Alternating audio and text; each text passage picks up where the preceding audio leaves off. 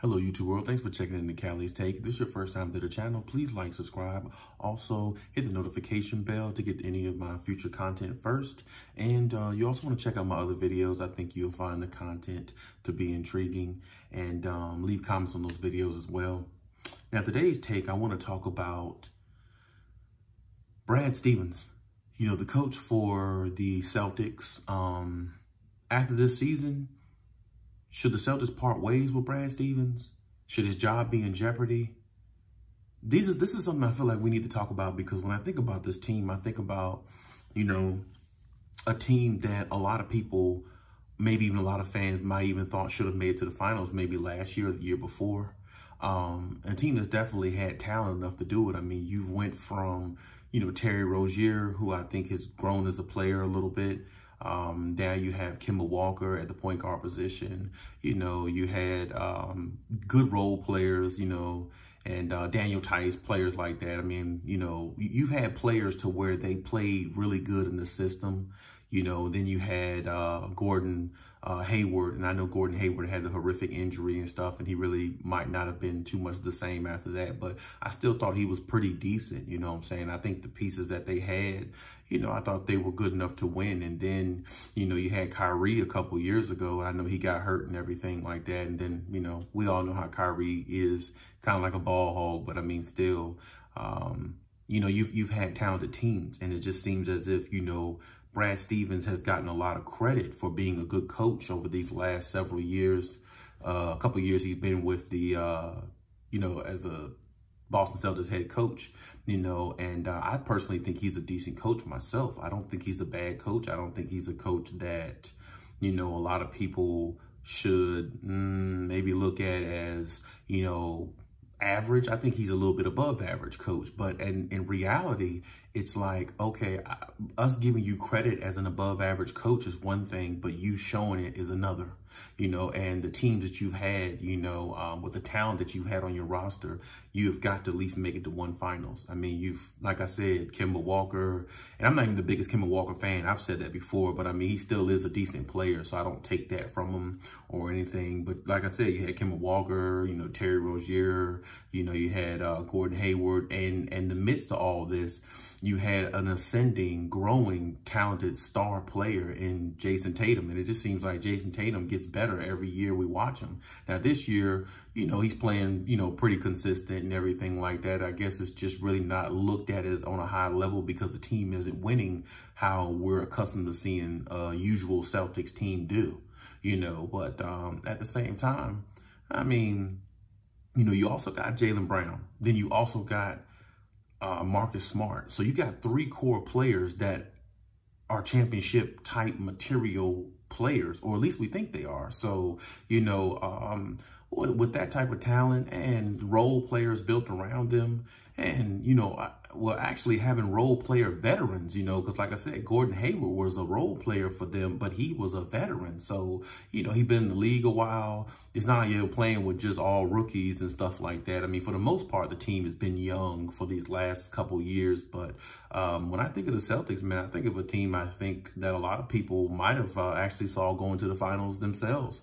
You know, the Celtics, uh, when I think about, you know, their roster up and down, no, they don't have the greatest bench from what I see. But I mean, they have hustlers. They have guys who grind. They have guys who go out there in the trenches, you know what I'm saying? And, and, you know, make things happen. I mean, I see, you know, Tacko Fall, you know, the way he plays with them, you know, he plays pretty good with the team. You know, he doesn't, um, you know, he doesn't hurt them when he's out there. You know, he gets rebounds. He plays within his minutes, you know, and um, I think he's like seven four, seven five, or some something like that. I don't, I don't know, maybe seven three, something like that. But he's he's pretty. He's he's a tall guy, and um, you know, he he to me, he shows a lot of good promise for them, even the few minutes that I actually see him out there playing. So, you know, you have guys that are coming there, grind and play hard. And, you know, in Brad Stevens' system that they that he implements to the players, you know, I think the system is good for, you know, Tatum, Brown, and uh, Marcus Smart. I just don't know if it's good for everybody else you know, and um, like I said, because this team, to me, like Miami made to the finals last year. But I actually had the Celtics going to the finals last year. you know, because I didn't think, um, you know, Toronto was going to go back because, you know, they didn't have Kawhi Leonard. So I figured, you know, Toronto was out the picture.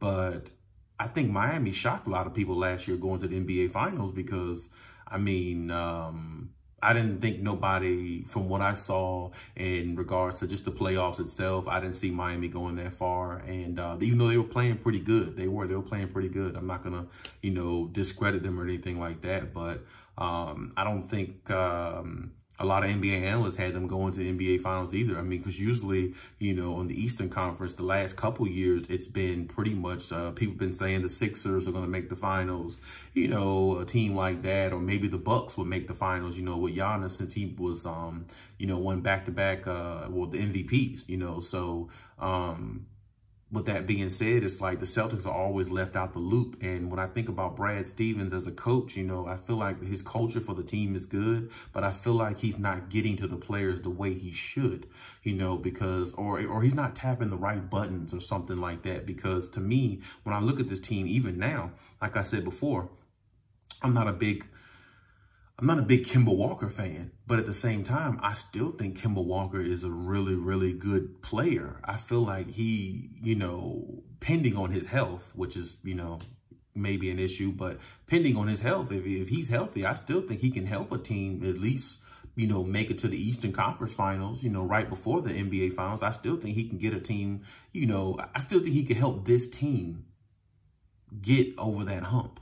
I still think he can help this team at least get to the conference finals or maybe even the finals, you know, with, with what they have constructed, built on this team now.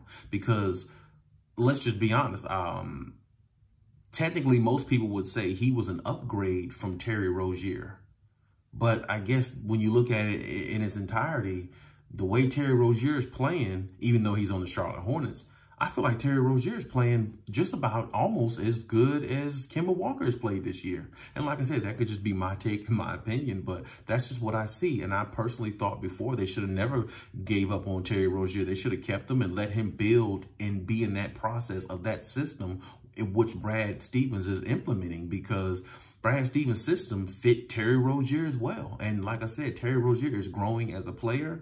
And I think by now, he would be that type of player they would need to possibly get over the hump myself personally because he's gritty, he's rough, and you know he's not afraid of the moment. He'll knock down big. He'll he'll take a big shot, and sometimes he'll knock down a big shot. You know, so um, you know, for him being a point guard, I would say maybe work on his skills a little bit more in regards to passing the ball because, you know, Terry Rozier, when I look at him play, sometimes I think he's a score first point guard, you know, so which is actually, you know, feasible in this this league now. You need pretty much, you know, players like that, but you also need, you know, your player to be a point guard as well, distribute. So you can have maybe 19, 20 points, but, you know, you still need that five, six, seven assists on average you know, so, um, but still, I think they should have kept the team that they had, um, even with Gordon Hayward, you know, I still think they should have kept that. I think they should have built on top of that, you know, but um, I understand, you know, teams got to, you know, teams got to do what they got to do, stuff like that, you know I'm saying? I get that.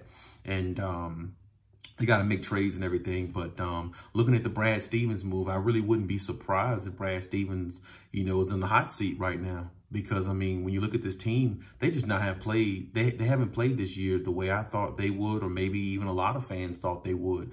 You know, because I personally thought they would be better. You know, um, and uh, to me, they look like you know they're pretty much basically around a 500 team. You know, on average. You know, so they're they're really not a, a team that's really ascending. You know, what I'm saying when I look at the Miami Heat in the East, they're ascending to me. You know, the Sixers, um, even though they ain't you know Embiid situation, they're still a good team. They're still at the top of the East.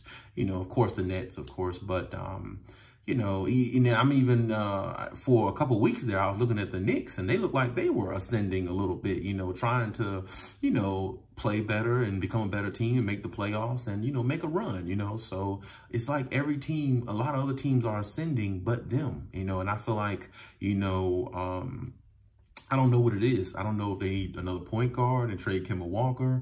Um, that's my personal opinion. I've said before in my other videos, which I think you should check out about um, Kemba Walker. I think he's good, but like I said, I don't, I don't know if he's exactly the piece they need. You know what I'm saying? I don't know if he's a piece for that team specifically, you know, so, um, I'm not sure. I think they should have went and made a trade for Kyle Lowry myself. I think that would have been a good fit for them. I think he would have been a good fit in Brad Stevens' system. But um, like I said, Brad Stevens been working with some pretty decent pieces these last several years, you know, with the Boston Celtics. And it just doesn't seem like, you know, he's actually like I said, pressing the right buttons or getting what he needs out the players because the players are not responding to the level of talent that they have and, and, and, and the level of greatness this team has always implemented. You know, I've, I've never been a, a Celtics fan. Um, probably never ever will be, but at the same time, you know, I, ha I have looked at this team and said, you know, I like Jayson Tatum. I like you know, Jaylen Brown. I like the way Marcus Smart plays. I like his, you know, anticipatory skills. I like the way Marcus Marcus Smart plays defense, and he's a gritty, he's a grinder. You know, just like I said about Terry Rozier, him and Terry Rozier are almost the same player. You know, to a degree. You know, so that grit and grind mentality that he has, that's definitely championship material. You know, you put Marcus Smart on a team like the Miami Heat, where do they go? They only go up. They don't go down because when you add a player like him who can knock down a shot and play hella defense on other team's superstar.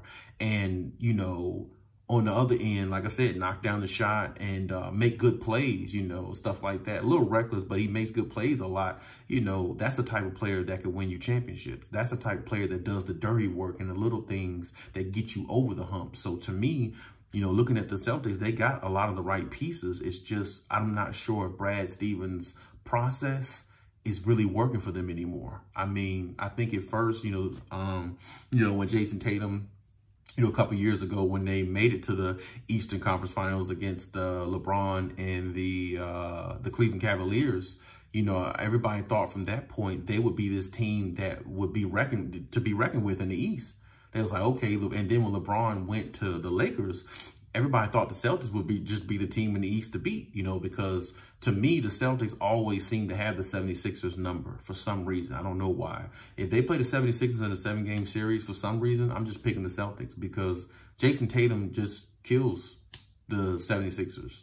And for some reason, Jaylen Brown does too. You know, it's like, for some reason, I just feel like they have their number for some odd reason. I don't know why, but um, it just seems like, like I said, the team isn't where they're supposed to be. And they have too much talent on that team to be a 500 team to me. They have way too much talent. And when you think about the talent that they have, they have more talent on that team or just as good as talent on that team maybe as the Miami Heat does. I mean, Miami Heat added Tyler Herro. You know, he's a good shooter. You know, I get that. But at the same time, you know what I'm saying? Uh, like I said, the Celtics got Jayson Tatum. They got Jaylen Brown. They got Marcus Smart. You know, they got Kemba Walker. I mean, you know, that's a pretty good lineup. That's that's that's not a that's not a, a, a I would say a average lineup. That's a pretty good lineup. That's a line that can actually get you to NBA Finals in the Eastern Conference, not in the Western Conference, but in the Eastern Conference, it can get you to the finals. Um, well, at least until the Nets came or the Nets are constructed now. But um, still, it, it, I, I, thought it was good enough for them at least make one finals in the Eastern Conference, and they haven't. And um, like I said, I don't see them making it in the foreseeable future now unless they get like another big name star type player or something like that. Um, and you know, it, it, it it's going to be tough. I mean, now, you know, hey, Kawhi's a free agent this year after this season with the Clippers. Maybe you can try to go after him, which I don't think that's nearly as possible, ever going to happen. But I'm just saying they must need a big superstar there and um, to help carry the team because I'm just not sure. It, it's either one or two things. It's either, you know, Jayson Tatum isn't good enough to get him to a finals or Brad Stevens coaching is good, but it's not pushing or tapping the right buttons out of the players to get the maximum out of them for them to make it to the finals and be a championship type team. At least that's that's just my take on it, you know, because uh, like I said, uh, this team is uh, really talented, and I just don't see how they haven't even made a finals. You know, I don't. Like I said, I still can't understand how Miami made the finals over them last year, because talent wise, I think um, personally, I think the Celtics got just as good as talent as the Miami Heat or or more. You know, so um, it's it's really hard to say. And like I said, I think Brad Stevens is a really good coach. You know, and I think um, I think his system is is something that the you know NBA needs. You know, I just don't know if these young players are being receptive to it and they're take they're grasping it, taking heed to it because it just doesn't seem like they're ascending. They're going up. It doesn't seem that way. You know, it just seems like they're staying stagnant right in that, you know, 500, give or take 500 basketball, you know, median range. And that's it, you know, and if that's all that they're going to do, then uh, it's really disappointing to all the Celtics fans out there because, you know, um, I personally, last year, I thought it was going to be a Celtics-Lakers finals, personally, you know, but um, it didn't work out that way. And, um, but, you know, hey, we'll see how this year turns out. Um, I don't think they're going to go anywhere, do anything this year. I don't think nobody's getting past the Nets. I don't think nobody, I don't think nobody can get past Philly either. You know, I think Philly is a good team. But, um, you know, like I said, I'm, I'm not sure what's going on with this team. I'm not sure if Brad Stevens is the right coach for these young players or is his style too old school for them or I don't know what it is, but I'm really disappointed in the Celtics this year. I thought they would be a lot better. Uh, at, at worst, I thought they'd be, you know, like a two seed or something like that, you know, just, just, you know, I thought they'd be one of those, you know, type teams, you know, uh, until the Nets got, you know, assembled and built, of course. But, um, yeah, they're just not playing at the level I think they should. And, um, I'm not sure if Brad Stevens is, um, getting to them the way he should. And uh, I'm, I do not really want to see Brad Stevens get fired or anything like that because I like him as a coach. But at the same time, if his style it doesn't fit the talent that you have, you have to think about looking into new coaching options because they didn't made trades. They they've like I said they traded you know, uh, Terry Rozier for Kemba, you know what I'm saying? You let go of Gordon Hayward. You know, you got more size in the paint, you know, with Theis and, you know, good role players like that, you know, um, I don't know what else they need. You know, um, it just seems like uh, they're lost. But like I said, hey, that's my take on it. And um, let me know if you think um, Brad Stevens should still be the coach or his job is in jeopardy or they should let him go after this season or, you know, cut bait with him at any point in time. Let me know what you think and leave the comments in the comment section. And, um, hey, till next time.